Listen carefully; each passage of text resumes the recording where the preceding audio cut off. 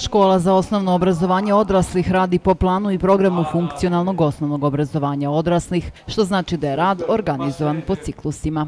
Prvi ciklus podrazumeva polaznike od prvog do četvrtog razreda, drugi ciklus peti i šesti i treći ciklus sedmi i osmi razred.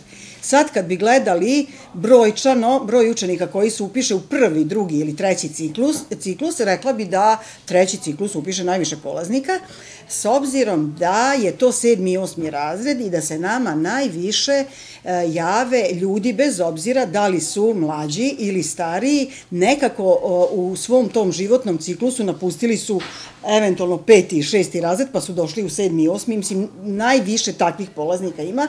Razlozi zbog kojih deca napuštaju školovanje jesu pubertet, nezadovoljstvo sobom ili porodicom. Ove godine osnovna škola za osnovno obrazovanje odraslih upisala je 102 učenika u trećem ciklusu, dok je ukupno ovu školu upisao 261 učenik. Dobra vest je da je polovina upisanih u treći ciklus uspela da završi osnovno školovanje. Međutim, ipak ne može se tu govoriti o nekoj njihovoj, da rekla bih, odgovornosti. Što se tiče polaznika trećeg ciklusa, znači njih je ukupno 52 završilo i polagali su maturu iz srpskog, matematike i kombinovani test.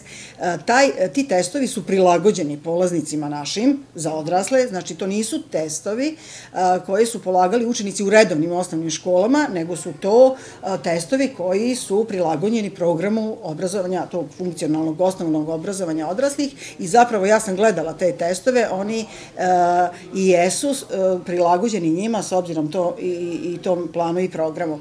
17 učenika koji polože testove, a imaju do 17 godina mogu bez problema da upišu srednju školu. Rangiranje se vrši isto kao i za redovne učenike. Dakle, uzima se u obzir prosek tokom školovanja od 6. do 8. razreda kao i broj osvojenih bodova na testovima.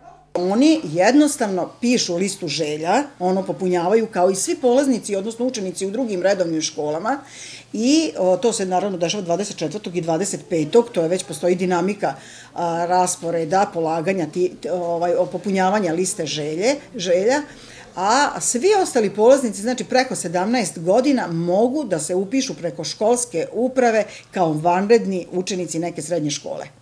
Dobra vest je i da svi polaznici ovih škola na kraju svog osnovnog obrazovanja mogu koristiti neke od afirmativnih mera, uz pomoć kojih mogu dobiti i po neki bod više.